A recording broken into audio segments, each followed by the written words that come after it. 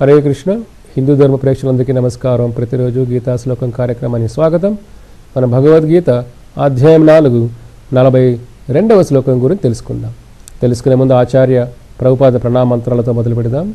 నమామో విష్ణుపాదాయ కృష్ణ ప్రేష్టాయ భూతలే.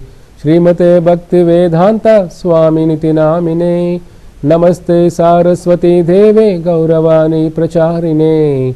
నిర్విశేష శూన్యవాది పాశ్చాత్య దేశతారిణే జయ శ్రీకృష్ణ చైతన్య ప్రభు నిత్యానంద శ్రీ అద్వైత గదాధర శ్రీవాసాది గౌరభక్త వృంద హరే కృష్ణ హరే కృష్ణ కృష్ణ కృష్ణ హరే హరే హరే రామ హరే రామ రామ రామ హరే హరే ఓం నమో భగవతే వాసుదేవాయ హరే కృష్ణ అధ్యాయం నాలుగు నలభై ఒకటవ శ్లోకం. యోగ సన్యస్త కర్మాణం జ్ఞాన సంచిన్న సంశయం ఆత్మవంతం న కర్మాణి నిబద్ధాతే ధనంజయ. కృష్ణ భగవాన్ అర్జున చెప్తున్నారు. ఓ అర్జున తన కర్మ ఫలాలను విడిచి భక్తి యోగంలో వర్తించేవాడు దివ్య జ్ఞానముచే సందేహాలన్నీ నశించినవాడు యథార్థంగా ఆత్మలో నిలిచి ఉంటాడు. ఓ ధనంజయ అతడు కర్మ ఫలాలనే బంధించబడడు. ఇది కూడా అద్భుతమైన శ్లోకం ఇది. మనం చే కర్మల నుంచి ఎలా బయటపడాలి? యోగ సన్యస్త కర్మానం. సన్యాసం మన కర్మనం. చేసే పనుల నుంచి సన్యాసం అంటే ఏమిటంటే మనం చేసిన పనుల యొక్క ఫలితాలు భగవంతుడు నైవేద్యంగా పెట్టాలి. మనం ఉద్యోగం చేస్తూ ఉంటాం జీతం వస్తుంది. జీతం అంతా కుటుంబానికే ఖర్చు పెట్టకూడదు. ఎంతో కొంత. మీ కుటుంబ ఆర్థిక పరిస్థితులను బట్టి ఒక వంద రూపాయలు వచ్చింది. ఒక ఐదు రూపాయలు. ఆ భగవంతుడి కోసం నైవేద్యం కోసం. లేదా భగవద్గీత బుక్ కొనుక్కు వేరుకైనా వేరుగా దానం చేయడం శాస్త్ర దానం గీతా దానం దానం చేయడం భగవద్గీత జ్ఞానం ఇవ్వడం. లేదా పది మందికి కృష్ణ ప్రసాదం ఇంట్లో ఏదో పులిహోరనో లేదా ఏదో ఒక ప్రసాదం చేసి పది మందికి దానికి ప్రసాదం పంచడం మీ కర్మ వెళ్ళిపోతుంది వాళ్ళ కర్మ వెళ్ళిపోతుంది. మామూలు దానం చేశామంటే ఒక రూపాయి ఒక భిక్షగాడికి ఒక దానం చేశారు పది రూపాయలు మీరు. వాడు సిగరెట్ తాగాడు అనుకోండి ఆ పాపం మీకు వస్తుంది. వాడు చికెన్ బిర్యానీ తినాడు అనుకోండి ఆ పాపం మీకు వస్తుంది. కాబట్టి దానం వల్ల వాడు ఏ పనులు చేస్తాడు మీ డబ్బులతో ఆ ఫలితాలన్నీ మీకు వస్తాయి. ఆ కర్మ మీకు వస్తుంది పాపకర్మ అంతా అదే మీరు కృష్ణ ప్రసాదం ఉన్న పది రూపాయలు కృష్ణ మంది నైవేద్యం పెట్టి పది మందికి పెట్టండి. పది మంది జీవితాల పాపాలు పోతాయి మీ పాపాలు పోతాయి. కాబట్టి వచ్చిన ధనాన్ని ఎలా ఉపయోగించాలి? ఫలితాన్ని భగవంతుడి సేవలో అర్పించడం అంటే భగవంతుడు నాకు అన్నీ ఇచ్చేరా అని కో- అడగట్లా. నీ అవసరాలు తీర్చుకొని అవసరాలకి ఏమైనా కొద్దిగా మిగిలినప్పుడు దాన్ని ఆయన సేవను ఉపయోగించాలి ఇంకా ఎక్కువ ఇస్తాడు. నమ్మకం పెట్టుకోవాలి ఆయన పైన. మన మనుషులు నమ్ముతాం భగవంతుని నమ్మం. కాబట్టి సన్యాసం అంటే మనం కాషాయం వేసుకొని హిమాలయాలకు పారిపోవడం అవసరం లేదు. సన్యాసం మనం చేసిన పనుల్లో ఉన్న ఫలితాలు వచ్చిన లాభాలు మనమే దాన్ని ఆస్వాదించకూడదు తినేయకూడదు. దాన్ని భగవంతుడి సేవలు ఖర్చు పెట్టాలి. అది అప్పుడు పెట్టిన వాడు వాడు కూడా సన్యాసిలాగే. చూడండి. మీరు ఇంట్లో భార్య పిల్లలతో ఉన్న సన్యాసి జీవితాన్ని గడిపినట్టే. మీరు కృష్ణుని ఇంట్లో పెట్టుకుని కృష్ణుడితో ఆయన సేవ చేస్తూ ఉన్న ధనాన్ని ఉన్న ఇల్లుని అంతా కూడా ఆయన సేవ కోసం ఉపయోగించినప్పుడు కృష్ణ కథ మీ ఇంట్లో పెట్టండి మీ ఇంటికి పిలవండి పది మందిని. భగవద్గీత పారాయణం చేయండి. హరే గీత యొక్క పారాయణం చేస్తూ ఆయన చెప్పిన దాన్ని ప్రతి మంది ప్రచారం చేయండి. ప్రసాదాలు పెట్టండి. మీ ఇల్లు కూడా వైకుంఠం అయిపోతుంది కాబట్టి మీ కర్మ నుంచి బయటపడతారు. మీరు సన్యాసులాగా అవుతారు కూడా. సన్యాస జీవితం అంటే మన మానసిక స్థితి ఆ విధంగా ఉండాలి. పైన డ్రెస్సులు మార్చుకోవడం సన్యాసం అయిపోం మనం. మన లోపల బుద్ధి మారాలి. నాది అనే భావన సన్యాస న్యాస వదిలేయడం నాది అనే భావన ఉండకూడదు. ఈ పిల్లలు కృష్ణుడి పిల్లలే. నా భార్య భర్తలు కృష్ణుడు పిల్లలే. కృష్ణుడికి సంబంధించిన వాళ్ళే. ఈ ఇల్లు కృష్ణుడిదే. ఈ కుటుంబం అంతా కృష్ణుడిదే అనుకున్నప్పుడు వాడు సన్యాసే. వాడు సన్యాసే. అదే కృష్ణుడు చెప్పేది ఇక్కడ చూడండి భగవంతుడు మనం చెప్తున్న మాట ఇది. యోగ సన్యస్త కర్మానం. వాడు పనులు నా కోసం చేస్తే వాడు సన్యాసే. అర్జున? అది ఇక్కడ సన్యాసం అంటే ఏదో రంగు మార్చుకొని డ్రెస్సులు మార్చుకొని అన్ని వదిలేసి కుటుంబాలు బంధాలు తెంచుకొని పారిపోవడం సన్యాసం కాదు. మీరు ఎక్కడ ఉన్న డ్రెస్సులు మార్చుకోకపోయినా మనసు మార్చుకోండి బుద్ధి మార్చుకోవాలి. ఆ బుద్ధి మార్చుకున్న వాడు సన్యాసి. కృష్ణుడి కోసం పని చేసేవాడు సన్యాసి. ఏ డ్రెస్సులో ఉన్నా. డ్రెస్ ముఖ్యం కాదు భావం ముఖ్యం. చేసే పనులు ముఖ్యం. అదే కృష్ణుడు చెప్తున్నాడు కర్ణి సన్యాసం అంటే అది. జ్ఞాన సంచిన్న సంశయం ఆ, ఆత్మవంతం కర్మాని నిబంధంతి ధనంజయ. ఎవడైతే ఈ విధంగా పని చేస్తాడో వాడు కర్మల నుంచి బయటపడతాడు. పాపకర్మలు పుణ్యకర్మల నుంచి బయటపడి వైకుంఠం తప్పకుండా వస్తాడు అర్జున. ఆ విధంగా జీవించేవాడు చూడండి. మీకు ఆర్థిక స్థితిని బట్టి మీకు ఐదు వేల రూపాయల జీతమా? ఒక వంద రూపాయలు ఖర్చు పెట్టండి. ఒక కేజీ బియ్యం ఎంత చెప్పండి? యాభై రూపాయలు ముప్పై రూపాయలు వేసుకున్నా ఒక వంద రూపాయలు రెండు కేజీలు బియ్యం వస్తాయి కదా మూడు కేజీలు బియ్యం వస్తాయి కదా వండండి. పెరుగు పెరుగు తీసుకో పెరుగన్నం లాగా పంచండి ప్రతి ప్రతి వారం మా ఇంట్లో కృష్ణుడికి పూజ చేశానండి. కృష్ణ ప్రసాదం అండి పది మందికి పంచాము ఇంటి పక్కన వాళ్ళకి బయట ఉన్న ఆకలిగా ఉన్న వాళ్ళకి. వంద రూపాయలు ఖర్చు పెట్టలేమా? ఆ వంద రూపాయలు ఖర్చు ఏమవుతుంది? నీ హృదయం మారిపోతుంది నీ పాపాలు పోతాయి. అవతల వ్యక్తుల పాపాలు పోతాయి చూడండి. ఇది మనం చేయాల్సింది ప్రతిరోజు. అంతేకాదు మనకి ఏమని చెప్పండి? ఒక యాభై రూపాయలు ఒక అట్టి పళ్ళు పెట్టండి. అంటే అట్టి భగవన్ నైవేద్యం పది మందికి కట్ చేసి పెట్టండి. ఏమవుతుంది? యాభై రూపాయలు ఖర్చు పెట్టలేమా? జనాలు మాంసం తింటున్నారే కేజీలు కేజీలు వందలు వేల రూపాయలు ఖర్చు పెట్టి సినిమాలకు వెళ్తున్నారు వందల టికెట్లు పెట్టి ఎన్నో చేస్తుంటాం మనం. దానివల్లంతా మనం ఏం లాభం చెప్పండి?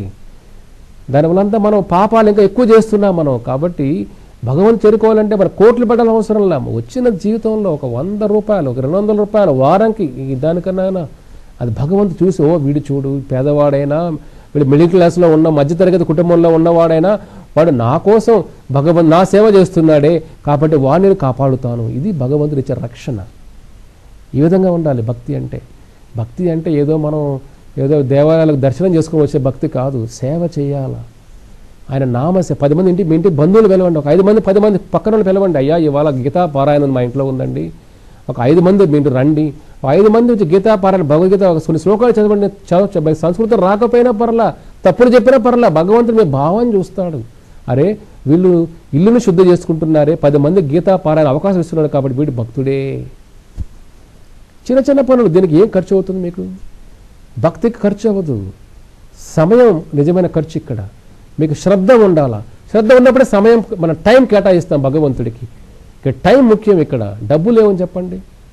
కాబట్టి ఇట్లా మీ వల్ల పది మంది వాళ్ళ వల్ల పది మంది అందరికి జీవితాలు మారుతాయి. కాబట్టి అందరూ పాపాల నుంచి బయటపడితే సుఖం దొరుకుతుంది ఆనందం దొరుకుతుంది. పాప జీవుడికి సుఖం దొరకదు. కృష్ణ చెప్పాడు కదా మరి నా సుఖం అని చెప్పినప్పుడు ఎలా ఆనందం ఉండగలుగుతుంది ఈ లోకంలో? ఆనందం ఎలా ఉండగలుగుతామంటే కృష్ణ సేవ వల్ల ఉండగలుగుతాం. లేదంటే ఉండలేం ఈ లోకంలో. ఈ లోకంలో మనం బతకలేం.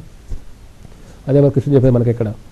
కాబట్టి భగవంతుడి కోసం ఇప్పుడు మనం పెద్ద పెద్ద రాజులు కూడా ముందు యుగాల్లో ఎన్నెన్నో భగవంతుడి కోసం దేవాలయాలు కట్టారు ఎన్నో త్యాగాలు చేశారు ఎన్నెన్నో శ్రద్ధగా చేశారు అంతా కూడా. కాబట్టి ఇవాళ ఎన్నో దేవాలయాలు మనకు ఉన్నాయి ఇండియాలో. రాజు చేసిన సేవ భగవంతుడికి శ్రీకృష్ణదేవరాయలు. తిరుమల క్షేత్రానికి ఆ వెంకటేశ్వర స్వామికి ఎన్నో ఆభరణాలు ఇచ్చారు ఆయన. ఎన్నో ఆభరణాలు శ్రీకృష్ణదేవరాయలు. ఆ దేవాలయాల కట్టడంలో ఎన్నో ఆయన సేవలు చేశాడు ఆయన. హంపీలో కానీ ఎన్నెన్నో సేవలు చేసిన ఆయన శ్రీకృష్ణదేవరాయలు. చూడండి. అదేవిధంగా ఇంద్రజమ్యునుడు ఆ పూరి క్షేత్రాన్ని ఆ పురుషోత్తమ క్షేత్ర జగన్నాథ దేవాలయ కట్టి ఇంద్రజమునుడు రాజు కట్టాడు అది కూడా. ఎంతోమంది రాజులు మనకి ఎంతో భగవంత్ సేవ ఇవాళ మన దేవాలయం ఉన్నాయని వాళ్ళందరూ మనం స్మరించుకోవాలా? వాళ్ళు చేసిన సేవ ఇవంతా కూడా. అంటే మనం ఎక్కడ ఉంటే మన స్థితిని బట్టి సేవ చేసుకోవాలి. భగవంతుడు ఆ సేవ చేసేవాడిని ఎప్పుడూ వదిలిపెట్టడు. చూడని గుర్తుపెట్టుకోండి. మీరు కానీ చిన్న సేవ చేసినా మిమ్మల్ని వదిలిపెట్టడు ఆయన. మనుషులు మర్చిపోతారు. మనం చేసిన సేవ భగవంతుడు మర్చిపోడు. ఒకరోజు ఏమవుతుందంటే పూరి జగన్నాథ రథయాత్ర మీరు అందరూ తెలుసుంటారు ఇది రథయాత్ర. ఆ పూరి జగన్ రథయాత్ర అప్పుడు అప్పుడు పురుషోత్తమ దేవ అని ఒక రాజు పరిపాలించేవాడు పూరి క్షేత్రాన్ని ఒరిస్సా రాజ్యాన్ని కొన్ని వేల వందల సంవత్సరాల ముందు. ఆ పురుషోత్తమ దేవ అతని పేరు. అతను ఆ మామూలుగా ఏంటంటే రథయాత్ర అప్పుడు ఆ రాజు ఎవరు పరిపాలిస్తున్నారో ఆ రాజు జగన్నాథు రథం దగ్గరకు వచ్చి బంగారు చీపుర ఉంటుంది. ఆ బంగారు చీపురుతో రథం ముందర అంతా శుద్ధి చేస్తారు. రోడ్డు అంతా ఒక చీపురు మన చీపురు. ఇంట్లో మనం ఎలాగైతే మనం అంత మట్టి లేకుండా చేస్తామో ఆయన బంగారు చీపురుతో జగన్నాథ్ రథానికి ముంద అంతర దుమ్ము ధూళి అంతా ఒక చీపురు శుద్ధి చేస్తారు జగన్నాథుడు వస్తున్నాడు దేవాది దేవుడు. జగన్నాథుడు వస్తున్నాడు కదా అని ఒక సేవకుడు లాగా రాజు ఒక సేవకుడు లాగా ఒక చీపురు ఎత్తుకొని సేవ చేస్తాడు జగన్నాథ్ దగ్గర. అది ఇప్పుడు కూడా జరుగుతూ ఉంటుంది. ప్రతి రథయాత్ర మీరు చూడగలుగుతారు ఇప్పుడు కూడా. ఇతనికి ఏమవుతుందంటే ఒకసారి ఆయన కంచికి వెళ్తాడు. తమిళనాడు కంచి. ఆ కంచి రాజు అంత ఆహ్వానం కోసం వెళుతాడు. అక్కడ కంచి రాజు కుమార్తెను చూస్తాడు పద్మావతి ఆమె పేరు. చూసి ఇద్దరు ఒకరికి ఇష్టపడతారు. పురుషోత్తమ దేవుడు పద్మావతి. ఓ ఒకరికొకరు ఇష్టపడ్డారు అనుకుంటారు. అప్పుడు కంచి రాజు కూడా వీళ్ళిద్దరి పెళ్ళికి ఒప్పుకుంటాడు. మంచి రాజు ఇతను మంచి గుణాలు ఉన్నాయని ఒప్పుకుంటాడు. అప్పుడు పురుషోత్తమ దేవుడు పూరికి వచ్చేస్తాడు. వచ్చేసిన తర్వాత ఈ కంచి రాజు నా కుమార్తె ఇష్టపడింది కదా పద్మావతి పురుషోత్తమ దేవ దేవ రాజుని మంత్రి గారు మీరు ఒకసారి వెళ్ళండి. వెళ్ళి ఈ పెళ్ళిని కుదుర్చుకొని ముహూర్తాలు పెట్టుకొని అన్నీ చూసుకొని వాళ్ళ మంత్రిని పంపిస్తాడు పూరికి. మంత్రి వెళ్తే ఆ పురుషోత్తమ దేవ రాజు బాగా చూసుకుంటాడు మంత్రిని మంచిగా అన్ని చూసి సుఖాలన్నీ బాగా ఏర్పా ఏర్పాట్లన్నీ బాగా చేస్తాడు. అప్పుడు రా మంత్రి అన్ని పెళ్ళి ముహూర్తాలు అన్నీ పెట్టి అన్ని అయిన తర్వాత నేను బయలుదేరుతాను కంచి కంటే ఉండండి కొద్ది రోజులు ఉండండి మా ఆతిథ్యం స్వీకరించండి. ఇప్పుడు రథయాత్ర సమయం దగ్గరైందండి. పూరి జగన్ రథయాత్ర అండి. చాలా గొప్ప ఇది పండగ ఇది. లక్షల మంది జనాలు వస్తారు. మంత్రి కరెక్టే అదని ఎప్పుడు చూడలేదండి. ఆ పండగ చూసుకొని బయలుదేరండి అంటారు. కంచి మంత్రికి ఓకే ఒప్పుకుంటాడు ఆయన. రథయాత్ర రోజు వస్తుంది. వచ్చినప్పుడు పురుషోత్తమ దేవుడు ఏం చేస్తాడు? అనుకున్నాం కదా. రాజు సేవ ఏమి? రథ రథయాత్ర అప్పుడు జగన్నాథ రథాన్ని దగ్గరకు వెళ్ళి ఆ బంగారు చూపున్న చూపురుతో ఆ రథం మొదటి రథ శుద్ధ చేయాలి. జగన్నాథ్ దేవాది దేవుడు బయలుదేరుతున్నాడు కదా. ఒక సేవ ఒక చీపురు పట్టుకున్న చిన్న సేవకుడు లాగా చేయాలి. జగన్నాథా నువ్వే రాజయ్యా నేను నీ సేవకుడినయ్యా అనే భావం ఉండాలి. రాజే చీపురు ఎందుకు తో- ఎందుకు తోస్తాడంటే ఒక సేవకుడు నేను నిజమైన రాజు జగన్నాథుడు. ఈ విశ్వానికి జగన్న జగత్తుకే నాథుడు ఆయన కాబట్టి నేను ఆయన సేవకుడు అనే భావం కోసం స్వామి సేవ చేస్తాడు అందరం లక్షల జనాల ముందు రాజు చీపురు పెట్టుకుంటాడు. అది చూసి కంచి మంత్రి ఇదేంటయ్యా ఇది? చీపురు పట్టుకొని తోలుతున్నాడే అది శుద్ధి చేస్తున్నాడే. ఇతనికి ఎలా ఇస్తాం మనం? మన కంచి కుమార్తెని అది చూసి అతను ఏదో కొద్ది అసహ్యంగా ఏదో చండాలు చేసే పనిలాగుందే అని కంచికి వచ్చేస్తాడు వచ్చి రాజు చెప్తాడు రాజుగారు ఈ సంబంధం మనకొద్దు. ఈ రాజు ఏందో చండాలంలాగా చూపు పెట్టుకొని తుడుస్తూ ఉన్నాడంతా కూడా జగన్న రథం ఉందంతా కూడా ఇదేం ఆచారం అండి. రాజులు చేరు కదా ఇతను మన సరికాదండి వదిలేయండి. పెళ్ళి క్యాన్సిల్ అనేస్తాడు క్యాన్సిల్ మంచిదండి మంచి సలహా ఇస్తాడు. కంచురాజు కరెక్ట్ అని చెప్పింది మనకేంది? చీపురు పెట్టుకునే వాళ్ళ పెళ్ళి ఏంటయ్యా అని క్యాన్సిల్ చేస్తాడు. రాజు జగన్నాథుడి కోసం చేశాడు కదా. రాజు కూడా సన్యాసే. అతను ఉన్న ధనాన్ని జగన్నాథ్ కోసం ఉపయోగిస్తున్నాడు. అతను ఉన్న పరపత్తి కీర్తి ప్రతిష్టలు జగన్నాథ్ సేవకుడిలాగా బతుకుతున్నాడు. సన్యాసం అంటే అదే. ఈ మనకి ఏది ఉన్నా కృష్ణుడి సేవ కోసం ఉపయోగించాలి. అది సన్యాస జీవితం అంటే. అప్పుడు అప్పుడు ఏమవుతుందంటే ఈ రాజు తెలిసి బాధపడతాడు. అయ్యో ఇలా జరిగిందా అని బాధపడి గొమ్మగైపోతాడు. కానీ ఈ కంచురాజు ఏం చేసి స్వయం స్వయంవరం ప్రకటిస్తాడు. స్వయం ప్రకట నా కుమార్తె పెళ్ళి చేసుకునే వాళ్ళందరికీ ఆహ్వానాలు పంపుతాడు కానీ ఈ పూరి రాజుకి పురుషోత్తమ పంపిడు ఆహ్వానం పంపడు. అప్పుడు తెలిసి బాధపడతాడు అయ్యో ఈ రాజు ఇంకా మనల్ని అవమానపడుతున్నాడే. అందరికీ స్వయంవరంలో ఆహ్వానాలు పంపినాను పంపలేదే. నేను క్షత్రియుడు కాబట్టి యుద్ధంలో గెలిచి ఆ అమ్మాయిని ఎట్లాగైనా నేను తీసుకొని రావాలి అని భావిస్తాడు పూరిరాజు భావించి పూరిరాజు క్షత్ర కంచికి దండయాత్ర చేస్తాడు. కంచికి దండయాత్ర చేస్తే వచ్చిన తర్వాత ఆ దండయాత్రలో యుద్ధం జరుగుతూ ఉంటే ఇతను పూరి రాజు యొక్క సేవకులు చాలామంది వాళ్ళు ఉన్న బస చేస్తున్నవన్నీ కూడా నిప్పు వచ్చి కాలిపోతూ ఉంటాయి. యుద్ధానికి ఆటంకం కలుగుతుంది. అప్పుడు పూరి రాజు అందరిని భటుల్ని ఆ ఏనుగుల్ని వెనక్కి తీసుకొని మళ్ళీ వెనక్కి వస్తాడు పూరికి వస్తాడు. వచ్చి ఇంకా అవమానంగా బాధపడతాడు. అయ్యో యుద్ధం వెనక్కి వచ్చేసాను కదా నేను బాధపడతాడు. ఏం చేయాలి నేను? ఓ జగన్నాథ నీ సేవ చేస్తున్నానే. నీ సేవ చేసినందుకే నాకు ఇవన్నీ కష్టాలు వస్తాయి కదా జగన్నాథ. నీ ఒక సేవకుడిలాగా చీపుడితో పనులు చేశానే. కానీ వాళ్ళు అజ్ఞానులు అది గ్రహించలేకపోయారే. ఇప్పుడు నువ్వే కాపాడాలని నీ పరపత్తి పోతుంది జగన్నాథ. అప్పుడు కంచిరాజు చెప్తాడు పెళ్ళి గొప్పకు పెళ్ళి నువ్వు యుద్ధం చేయి. యుద్ధంలో కానీ ఓ పూరి యుద్ధంలో నువ్వు గెలిచావో. యుద్ధంలో గెలిచావో. నేను కంచిలో నా ఇష్టదైవం వినాయక స్వామి. ఆ వినాయక స్వామిని నీతో పాటు పంపించేస్తాను. నా కూతుర్ని ఇచ్చేస్తాను. వినాయక స్వామి నీతో పాటు పంపించి నువ్వు జగన్నాథుడికి గుడి వెనకాల వినాయక స్వామిని పెట్టుకో. పర్లేదు. అంటే వాళ్ళు విలువ తక్కువ చేసినట్టు అనమాట ఇక్కడ. మన వెనకాలంటే విలువ విలువ తక్కువ చేసినట్టు. అదే గారి యుద్ధంలో ఓడిపోయా పూరి రాజా నీ జగన్నాథుడు బలదేవుడు సుభద్రాలని పూరి నుంచి ఇక్కడ తీసుకొని వచ్చే విగ్రహాలని. తీసుకొని వచ్చి నా వినాయక స్వామి ముందు ఉంటాడు నీ జగన్నాథుడు వెనకాల పెట్టు ఒక సేవకుడు లాగా ఇది కండిషన్ అంటాడు. పూరిరాజు ఒప్పుకుంటాడు. ఓ జగన్నాథ ఇది నీ గౌరవానికి సంబంధించిన స్వామి నీ సేవకుడు అన్ని నీకు వదిలేసా నేను. నీకోసమే జీవిస్తున్నా నేను నీ భక్తుడు నేను ఒక సన్యాసిలాగా బతుకుతున్నా నువ్వే ఇప్పుడు నీ నీ మాట నిలబెట్టుకోవాలి ఇప్పుడు. నిజమైన జగన్నాథుడు అయితే నువ్వు నువ్వే నీ గౌరవాన్ని కాపాడుకోవాలి. పూరిక్షేత్ర గౌరవాన్ని కాపాడాలి నువ్వు అని అంటాడు జగన్నాథుడికి. అని యుద్ధాన్ని మళ్ళీ ప్రకటిస్తాడు పూరిరాజు. అప్పుడు ఏమవుతుందంటే యుద్ధం ప్రకటించినప్పుడు ఇద్దరు ఉంటారనమాట చూడండి కృష్ణుడు బలరాముడు జగన్నాథుడు బలరాముడు. కృష్ణుడేమో నల్ల గుర్రం బలరాముడేమో తెల్ల గుర్రంతో ఒక సిపాయిలాగా ఒక సైనికుల ఆత ఆకారంలో వచ్చేస్తారు వాళ్ళు. వచ్చి యుద్ధం ప్రకటించక ముందే వీళ్ళు బయలుదేరేస్తారు పూరి క్షేత్రం నుంచి. జగుడు స్వయంగా జగన్నాథ స్వామి బయలుదేరేస్తాడు ఆ బలరామ బయలుదేరేస్తాడు రథం అది గుర్రాల పైన తెల్ల నల్లగుర్రం నల్ల పైన. బయలు మధ్యలో వాళ్ళకి దప్పికేస్తుంది. దప్పికేసిన ఒక ముసలి ఆవిడ రోడ్డుపై నిలబడి మజ్జిగ ఇస్తూ ఉంటుంది. కృష్ణ బలరాములు అక్కడ ఆగి మజ్జిగ ఫుల్గా తాగుతారు. ఆవిడ ధనం అడుగుతుంది. డబ్బులు ఇవ్వండి అంటే డబ్బులు? మా దగ్గర ఏముందమ్మా మాకు ఎక్కువ అందరూ పెడుతుంటారు తప్ప మేము ఎప్పుడు ఇవ్వలేం లేదే. డబ్బులు ఏంటి డబ్బులుగా నేను పంపినంటుంది అయ్యా డబ్బులు కావాలా? అయితే ఈ మధ్యలోనే ఒక రాజు వస్తాడు. ఆ రాజు దగ్గర నువ్వు తీసుకో అంటాడు. నేను ఎలా ఆయన ఎలా నమ్ముతాడండి మిమ్మల్ని? ఎలా ఆయన మీకు మధ్య గీచడం ఆయనకు ఎలా తెలుస్తుంది? ఎలా నమ్ముతాడండి? అంటే సరే అమ్మ అయితే ఆయన కృష్ణుడు ఆయన జగన్నాథ స్వామి ఆయనకున్న ఉంగరం ఆ ముసలాడికి ఇస్తాడు. ఈ ఉంగరాన్ని చూపించే రాజుకి అతనికి అన్ని అర్థమవుతాయి. నీకు కావాల్సిన ధనాన్ని ఇస్తాడమ్మా? నన్ను నమ్మమ్మా అంటాడు. ముసలా నమ్ముతుంది. సర్లే ఉంగరం వచ్చింది లేదోలే అని నమ్ముతుంది. కృష్ణ బలం వెళ్ళిపోతారు వెళ్ళిపోతే అప్పుడు పురుషోత్త పూరి రాజు బయలుదేరుతాడు. రథ సైన్యంతో అంతా యుద్ధానికి. బయలుదేరితే మధ్యలో ముసలాడు ఆపుతుంది. అయ్యా ఇట్లా మీ సైనికులు వెళ్ళారు. వాళ్ళు నాకు డబ్బులు ఇవ్వాలండి. వాళ్ళు మధ్య తాగారు అంటే నా సైనికుల? వాళ్ళు ఎప్పుడు వెళ్ళారమ్మా? నేను ఇప్పుడే వస్తున్నానే. నేను ఇప్పుడే వస్తున్నానమ్మా. వాళ్ళు ఎప్పుడు వెళ్ళారు సైనికులు? నా సైనికులు నాతో పాటు ఉన్నారే అంటే లేదంటే మీ పేరు చెప్పి వెళ్ళారంటే నేను నమ్మను అంటాడు. ఈ ఉంగరం మీకు చూపించమని చెప్పారని ఉంగరం చూపిస్తా చూపిస్తుంది ఆవిడ. ఉంగరం చూపిస్తే జగన్నాథుడికి ఈ పూరిరాజు చిచ్చిన ఉంగరం చేపించిన ఉంగరం దేవాలయంలో. అయ్యో నా జగన్నాథుడే బయలుదేరి నా కోసం బయలుదేరాడా? అని అతను తన్మయత్వంలో ఆనందపడిపోయి అమ్మా నువ్వు బాధపడద్దు. ధనమేంటమ్మా? నువ్వు అదృష్టం చేసుకున్నావు. సాక్షాత్తు ఆ కృష్ణ బలరాముల్ని. ఆ జగన్నాథ బల దర్శనం దొరికిందమ్మా. నువ్వెంత పుణ్యాత్మురాలు నువ్వు? మజ్జిగిచ్చి భగవంతుని చూసేసావు నువ్వు?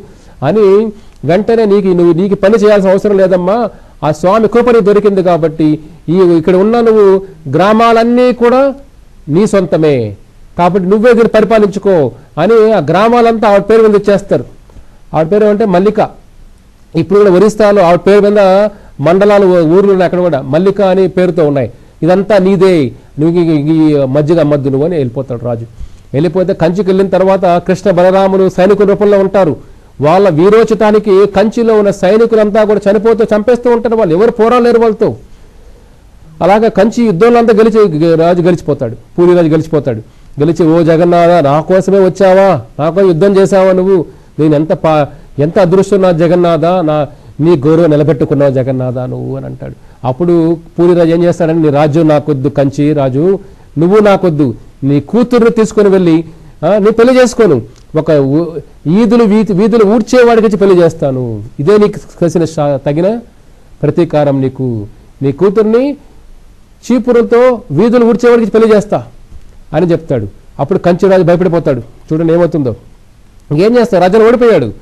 ఆ అమ్మాయి పద్మావతి ఏడుస్తుంది అయ్యో ఈ రాజు పెళ్ళి చేసుకోవాల్సిన వ్యక్తి నేను. ఎప్పుడో ఇప్పుడు వీధులు విడిచేవాడికి పెళ్ళి చేసుకోవాలి. నా జీవితం ఎలా అయిపోయిందని బాధపడుతూ ఉంటుంది. అప్పుడు ఇంకేం చేస్తావు? అక్కడ వినాయక స్వామి ఉంటాడు కదా. ఆ వినాయక స్వామి కంచి వినాయక స్వామి తీసుకొని పోవాలి కదా. ఆ కంచి రాజు వినాయక స్వామి పంపిస్తాడు. ఇప్పుడు మీరు పూరికి వెళ్తే కూడా పూరి క్షేత్రంలో జగన్నాథుడు బలరాముడు సుభద్ర దేవాలయం వెనకాల కంచి వినాయక స్వామి ఉంటాడు. ఇప్పుడు కూడా వెళ్తే పెద్ద వినాయక స్వామి విగ్రహం ఉంటుంది ఇప్పుడు కూడా. ఇందుకు కంచి ఓడిపోయాడు కానీ వినాయక స్వామి జగన్నాథ్ సేవకుడు లాగా వస్తాడు కంచి నుంచి సేవ చేయడానికి జగన్నాథుడికి. చూడండి. ఇప్పుడు వెళ్ళినా కంచి వినాయక స్వామిని చూడొచ్చు మీరు అక్కడ పూరి క్షేత్రంలో పూరి జగన్నాథ్ దేవాలయంలో.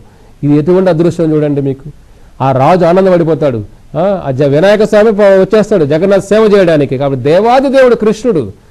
వినాయక ఒక వినాయక స్వామి కొన్ని లక్షల కోట్ల వినాయక స్వాములు ఆయన సేవకులాగా పనిచేస్తారు అనంతకోటి విశ్వాల్లో. ఆ జగన్నాథుడు అంటే జగత్తుకే విశ్వాలకి అధిపతి ఆయన కృష్ణ భగవానుడు.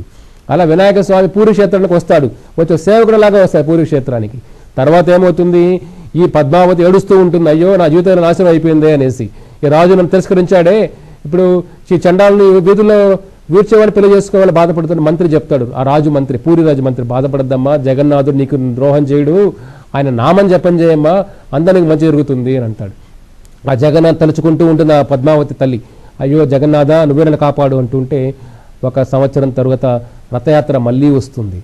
రథయాత్ర వచ్చినప్పుడు ఈ పూరి రాజు మళ్ళీ జగన్నాథ్ రథం ముందర ఊడుస్తూ ఉంటాడు. బంగారు చీపురతో ఊడుస్తూ ఉంటే ఆ ఊడ్చిన తర్వాత ఆ ఊడ్చే ముందు ఏం చేస్తాడంటే ఆ పూరిరాజు మంత్రి పద్మావతి చెప్తాడమ్మా బాగా అలంకరణ చేసుకొని రా నువ్వు. ఈరోజు నీ పెళ్ళి. ఆవిడ ఆశ్చర్యపోతుంది అయ్యో జగన్నాథ నువ్వు కాపాడలేదా నువ్వు? నన్ను చీపురిచ్చే పెళ్ళి చేస్తారా? ఈ రోజు నన్ను ఈ అలంకరణ ఎందుకు చేసుకోవాలి నేనండి అని బాధపడుతూ బాధపడుతూ అలంకరణ చేసుకొని వస్తుంది. వచ్చిన తర్వాత ఈ మంత్రి ఎంతో తెలివైన మంత్రి చూడండి. ఆ పూరిరాజు రథం ముందు ఊడ్చిన తర్వాత అతని దగ్గరికి వస్తాడు. ఓ రాజుగారు మీరు నాకు ఆజ్ఞాపించారు. ఈ పద్మావతి రాజకుమార్తెని ఒక వీధులు ఈడ్చేవాడికి పెళ్ళి చేయమని చెప్పారు మీరు. ఇప్పుడు ఆవిడ పెళ్ళి ఆసనమైంది మీరు రావాలి అని అంటారు. ఓ నేను ఎందుకు రావాలయ్యా? ఆమెను ముఖమేనే చూడను. ఈ ఆ వీధులు వచ్చిన పెళ్ళి చేసే నువ్వు అంటాడు. మంత్రి గారు చెప్తారు. ఓ రాజుగారు క్షమించండి. ఆ వీధులు ఊడ్చే వ్యక్తి మీరే. నేనేంటయ్యా అంటే ఇప్పుడు మీరు ఏం చేస్తున్నా చెప్పండి. ఓ రథమన ఊడుస్తున్నా నేను. కాబట్టి మీరు నాకేం చెప్పారు ఆజ్ఞాపించారు. ఈ రాజకుమార్తె పద్మావతిని వీధులు ఊడ్చేరు పెళ్ళి చేయమని చెప్పారు కదా. ఈ రోజు వీధులు ఊడ్చింది మీరే కదా. కాబట్టి మీరే పెళ్ళి చేసుకోవాలి మీ ఆజ్ఞ ప్రకారం. అప్పుడు రాజు ఆశ్చర్యపోతాడు మంత్రి యొక్క చాతుర్యానికి. సరే ఆవిడ మంచి భక్తురాలు. ఎలా జగన్నాథ స్వామి లీల- లీల చూడండి. అప్పుడు పద్మావతి ఆనందపడిపోతాయి అయ్యో జగన్ కోరిక తీర్చావయ్యా అని వాళ్ళిద్దరికీ పెళ్ళి అవుతుంది.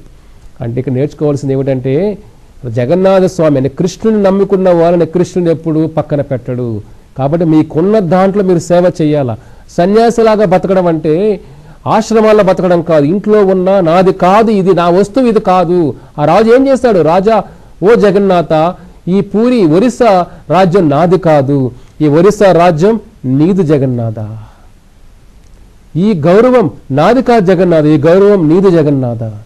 యుద్ధం వెళ్ళినప్పుడు కూడా ఓ జగన్నాథ ఇది నాది కాదు యుద్ధం నీ యుద్ధం అయ్యా నీ కోసం చేసిన యుద్ధం ఎందుకంటే నీ సేవ చేశాను కాబట్టి వాళ్ళు తిరస్కరించారు. కాబట్టి నీ కోసం నీ సేవ నీ సేవకుడి యొక్క యుద్ధం ఇది. కాబట్టి భగవంతుడి కోసం సన్యాసం తీసుకోవడం అంటే మనలో ఉన్న కామ కోరికలు సొంత కోరికలు పక్కన పెట్టి మీకున్న ధనాన్ని కొంతవరకు ప్రసాద రూపంలో ఆ భగవద్గీత ప్రచారంలో ఉపయోగించిన మీరు కూడా సన్యాసులు అవుతారు. ఇంట్లో ఉన్న రాజులాగా మీరు భగవంతుడి ఆశీర్వాదాలు మీకు దొరుకుతాయి. కాబట్టి హరే కృష్ణ మొత్తం జపం చేయండి మీ జీవిత సార్థకతం చేసుకోండి కలుసుకుందాం. హరే కృష్ణ.